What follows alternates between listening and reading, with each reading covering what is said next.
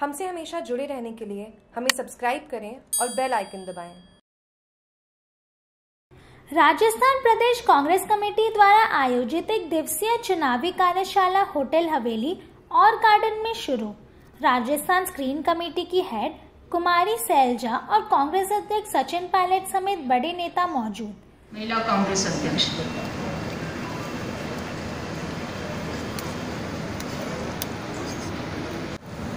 Block और ज़िले में हमारी पार्टी के पदाधिकारी और नेतागण काम कर रहे हैं और बहुत मेहनत से कर रहे हैं। लेकिन उस मेहनत में इजाफा करने के लिए चुनाव से संबंधित कुछ ऐसे बिंदु थे जिन पे बीसीसी और एआईसीसी को लगा कि हम लोग मिलकर आप लोगों के साथ एक संवाद कर सकते हैं और आने वाले चुनावों की जो